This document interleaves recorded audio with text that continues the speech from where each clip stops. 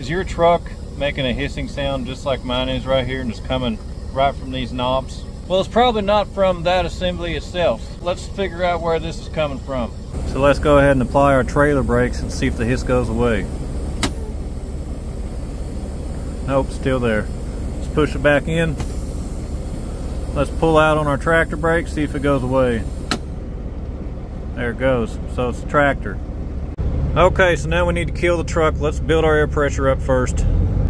All right, that's good. Now let's turn off the truck.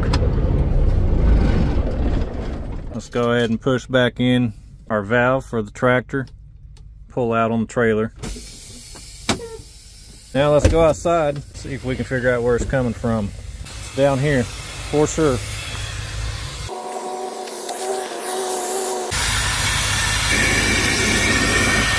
Alright guys, check out my next video to see how to fix that.